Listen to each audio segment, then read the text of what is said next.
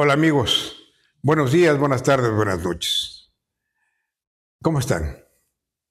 En México, pues estamos en pleno proceso electoral, las precampañas presidenciales y a las gubernaturas de las nuevas entidades federativas en donde hay relevo de poder ejecutivo estatal o jefatura de gobierno en la Ciudad de México. Pero lo más destacable de este fin de semana fue lo que aconteció en Movimiento Ciudadano con su precandidato a la presidencia, el gobernador o exgobernador o gobernador con licencia, Samuel García. Simplemente se arrepintió, ya no quiso seguirle, pese a que dijo que iba a ganar la presidencia. Pero claro, estamos aquí ante un caso mucho, muy especial de populismo. ¿eh? Un populista miente descaradamente como lo está haciendo y como lo hizo durante su precampaña en el corto tiempo en que la hizo Samuel García. Pero no pudo resistir la presión porque él pensó que alterando el curso de la ley podía dejar un gobernador interino de su partido y a su modo.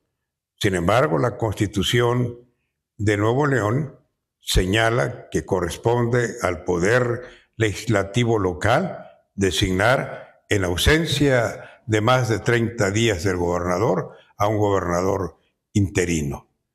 Pero se empecinó eh, Samuel García en dejar a uno de sus incondicionales, no le resultó y por lo tanto decidió regresar.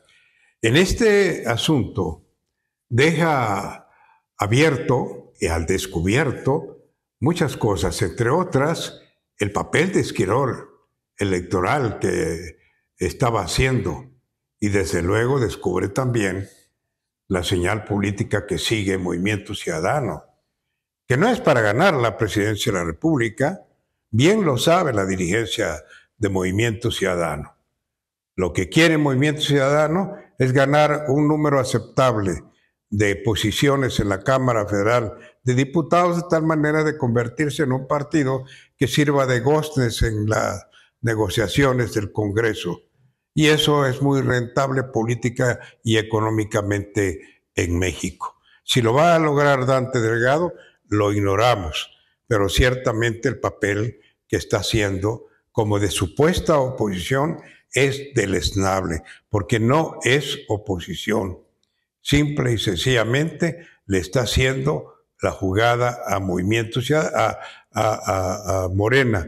Y bueno, pues en política esto se corresponde con la realidad y como todo el mundo podemos hacer conforme a la ley nos permite lo que queramos, pues está en su derecho de hacerlo, pero hay que decirlo para que no nos mientan con la frecuencia con la que ya nos tienen acostumbrados.